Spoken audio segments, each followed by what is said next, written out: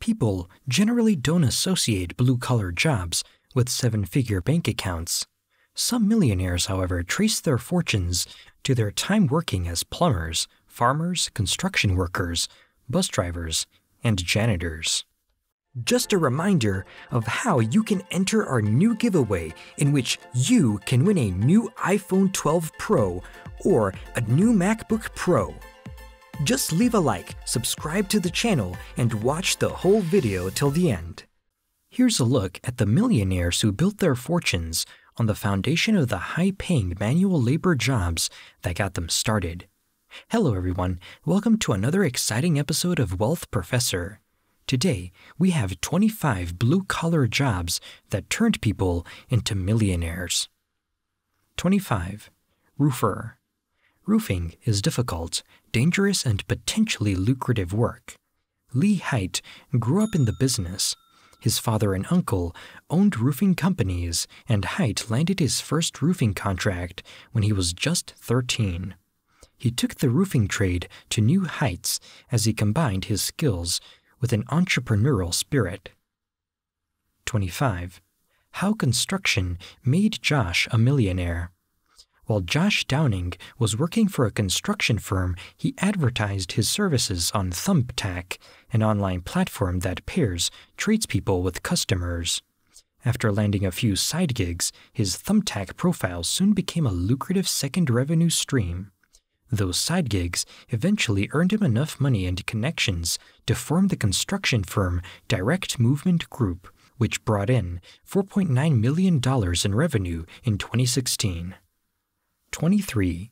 Steelworker and motorcycle builder. The rise of the steel industry coincided with and fueled the emergence of the United States as a global superpower. Paul Teutul Sr spent 20 years as one of the countless men and women who earned a blue collar living working with steel, which is a key component of what was always Teutul's true passion motorcycles.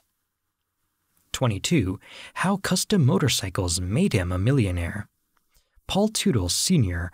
built custom motorcycles as a hobby before he struck out on his own and created Orange County Choppers, a custom bike shop that was featured on a reality TV show, American Chopper, from 2003 to 2010.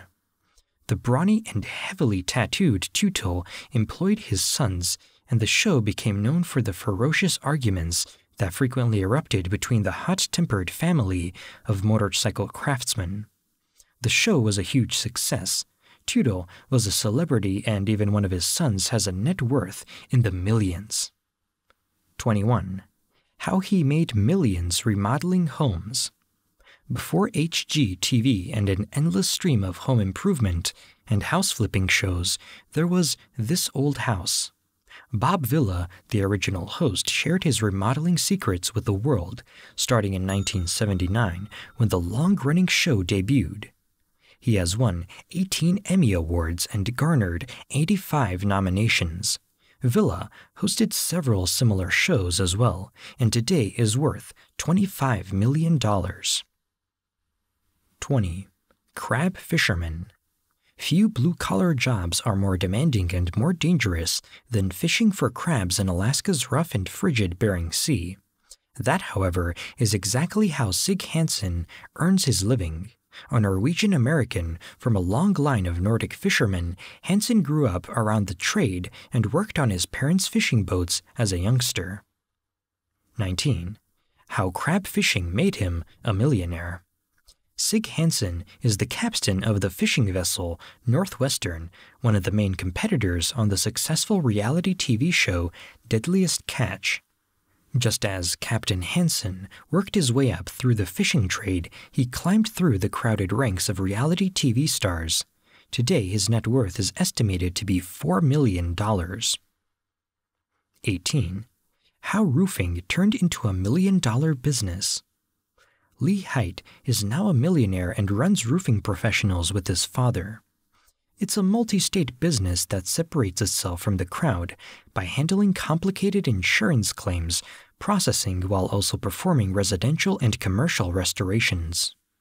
In growing the business, Haight displayed a level of online marketing skills and social media savvy that is rare among roofers.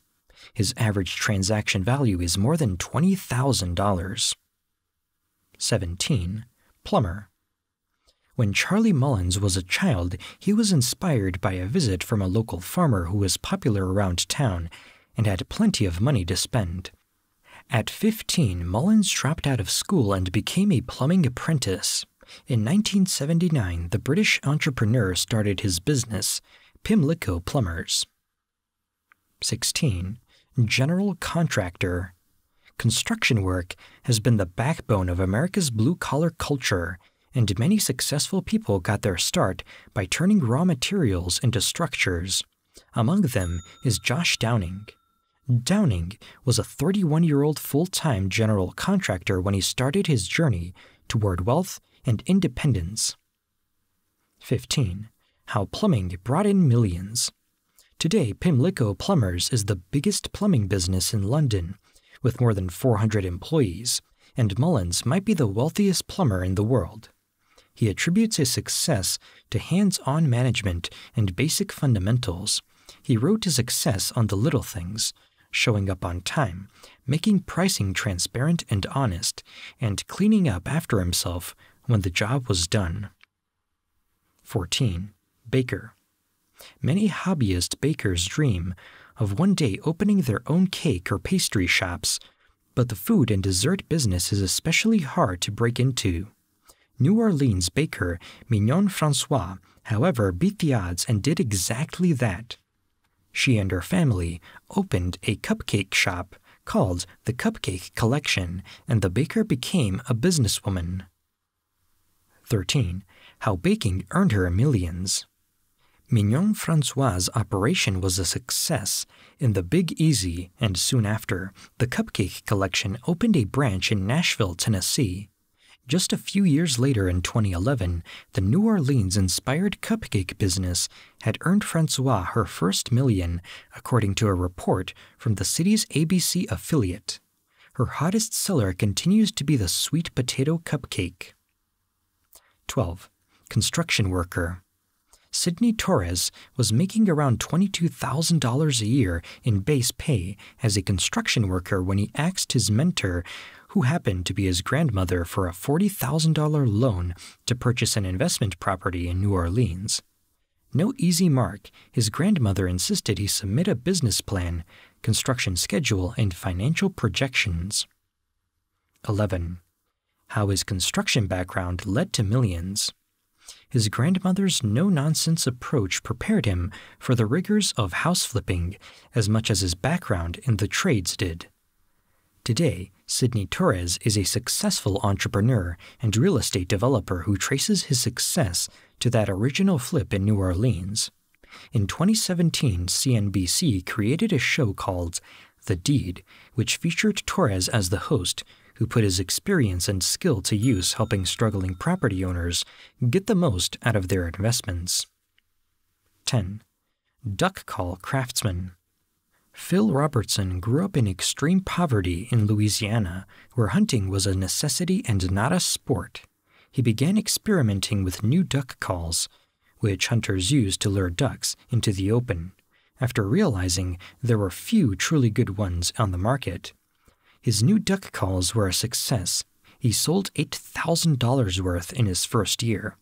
Robertson opened a business called Duck Commander, and the moment signaled the start of a career filled with riches, fame, and controversy.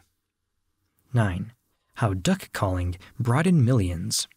Phil Robertson, a man who grew up in a cabin with no indoor plumbing, is now worth an estimated $10 million his Duck Commander business and his animated personality and family were the basis for the surprise mega hit Duck Dynasty show. Robertson became a conservative cause célèbre when the show was canceled after he made controversial comments about the LGBT community. 8. Dishwasher. Washing dishes in a restaurant is hard, grueling work but for some of the biggest chefs in the world, the position served as an important stepping stone. Among them is Thomas Keller, a celebrity chef who credits his time as a dishwasher for the skills that served as the foundation of his success, namely organization, teamwork, efficiency, and repetition. 7. How he went from dishwasher to millionaire. Thomas Keller is an author, television personality, and serial restaurateur who is in the mind behind the successful and iconic eateries such as Per Se in New York City and the French Laundry in Northern California. He worked his way up the restaurant ranks from the position of dishwasher. One of the most celebrated chefs, Keller, is worth $50 million. 6. Farmer. Howard Buffett is the son of Warren Buffett, the most successful investor in history and one of the wealthiest people worldwide. The elder Buffett also is famous for his philanthropy, but his generous nature does not extend to his children. The Oracle of Omaha long has held that rich parents should avoid setting their kids up for life. Howard Buffett received little financial help from his father, and instead, he has spent much of his life working in the most quintessentially American blue collar trade of all farming. 5. How he gained his own financial success through farming. Howard Buffett is a successful commercial farmer and, despite his father's massive fortune, essentially a self made man. He farms 1,900 acres in Nebraska and Illinois with gross annual receipts of around $1 million. However, investment banking and agriculture virtually have nothing in common. The son followed in the patriarch's footsteps, in a way. Like his father, Howard has established a foundation to help the poor and has given away vast sums of his own wealth to charity. 4. Janitor Custodial work is as blue collar as any job can be, and it's exactly the job that Steve Hightower did as a young man. His parents owned a janitorial company, and Hightower earned money by doing the hard, dirty work of cleaning and maintaining buildings. Although he used the money to work his way through college, he never aspired to a white collar career. 3. How he went from custodian to CEO. Steve Hightower is now the CEO of a petroleum transport and sales business, which grew out of a construction company he started with the money he saved working as a janitor in college. Although janitorial work isn't directly related to either construction or oil, Hightower still attributes his success to the work ethic he developed during his years working nights and weekends as a janitor. 2 ivory mammoth tusk carver. Skagway, Alaska, is the gateway to the Klondike, where one of the largest gold rushes in history took place in 1898. A pristine natural paradise, Skagway draws tourists from all over the world, and many of them climb onto buses for rolling tours of the landscape. You can make a living as a tour bus driver, but you probably won't get rich doing it unless you stumble onto a side gig while doing it that can turn into a million dollar career, like Bruce Schindler. This blue collar worker, who, while on the job as a Skagway tour bus driver, found the inspiration for a career as an ivory mammoth tusk carver. 1. Home Remodeler Giving makeovers to old, dilapidated homes involves several traditional blue collar trades Remodeling experts have to understand construction, electricity, plumbing, roofing, and other specialities. Bob Vila learned the trades as a child from his father, who built the Vila family's home with his own hands. Vila refined his skills, building houses in Panama with the Peace Corps as a young adult before launching his own remodeling business, and then Hollywood called. And that was our list of jobs that have the potential of making millions. Maybe some people will get new ideas of earning, and those who already are involved in any of these jobs could too earn loads of money. Thank you for watching the video, and don't forget to hit the like button and do subscribe to our channel.